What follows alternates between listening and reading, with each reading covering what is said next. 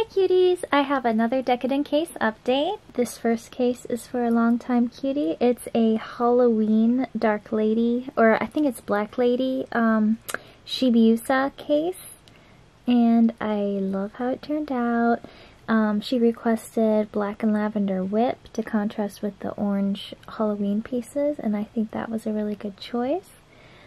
I think it turned out really great and spooky and I hope I can get this out to her soon so that she can enjoy it for the whole month of October. This is also for the same customer. She also got Chibiusa or Chibi Moon and it's a lavender and pink themed case and of course uh, to have like a little nod to Helios is little unicorn uh, cake and the moon, obviously for Sailor Moon, and then the cute little mask because the Sailor Scouts have the little mask in the manga. And of course got the little Starbucks cup. I think everything looks super cute. It's a really pretty case, I think. So yes, I'm so excited for her to get it. And this is for another long-term, long-term, long-time cutie. And it's so sweet. It's this little Pochacco case. I love the colors. They're pink, blue, and uh, lavender. That's what she requested, and I think it turned out so cute. I think Pochacco looks so cute, so adorable, so I hope she enjoys using this as well.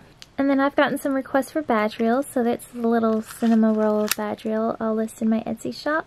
And then I also have this cute little pop socket phone uh, holder or whatever these are. I have one on my phone. They just help you hold your phone and they're collapsible, so yes, both of these will be in my Etsy shop.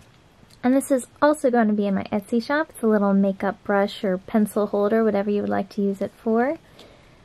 And it's chromy and it's super pretty, I think. So I'm super excited to list this.